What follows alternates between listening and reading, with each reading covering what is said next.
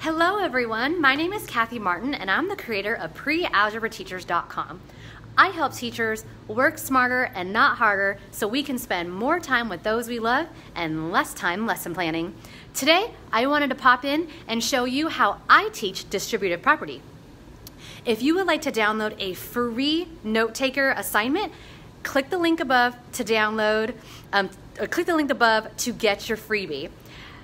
So let's get on with how I teach distributed property. I'm gonna go ahead and flip my camera so you can see my board and we can do a couple of examples. Here we go. Okay, so I show distributed property by using the term rainbow. This is actually a really cute poster that a student had created for me in the past and because we did a whole gallery walk and it was a whole thing. So I had a student create this distributed property poster and as you can see, this student wrote distributed property rainbow. And rainbow is a use as a term I use to help my students remember the word multiply. Of course, when you teach this, you want to teach your students the correct terminology. So you have to remember to teach your students that we multiply the outside number with each term inside the parentheses. However, an easy way to remember distributive property is rainbow. And I use it interchangeably. I use the term rainbow and distribute and multiply interchangeably so that my students remember they all mean the same thing. So what the heck do I mean by rainbow? So I have three examples up here.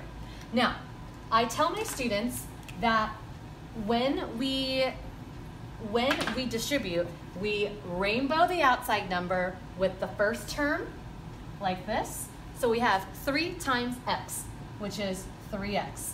And then I have them circle the second term, including the positive, negative, addition, subtraction sign. And then we rainbow the outside term with whatever the secondary number is. In this case, plus 5, positive 5. So 3 times positive 5 is going to be positive 15.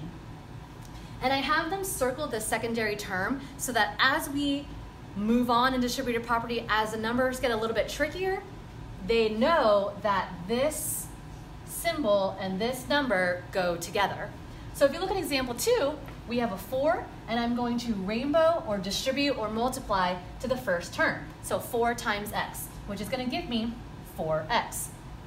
Now I have four times negative six.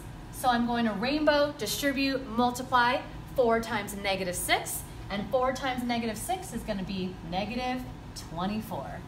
So there's my answer.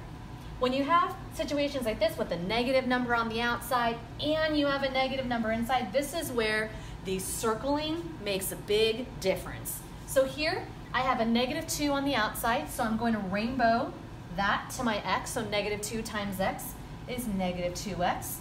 And here I have a negative 2 distributing to a negative 7. So a negative times a negative is going to be a positive. So here I'm going to have a plus 14. So I have found that circling using a term like rainbow to help trigger students' memory of the fact that it means multiply has really helped my students experience success with distributed property. Again, if you want to download your own student note taker, it's really, really fun. It involves food, so who doesn't love food? Head on over to the link above. Thank you so much for joining me today. I'll see you next time. Bye.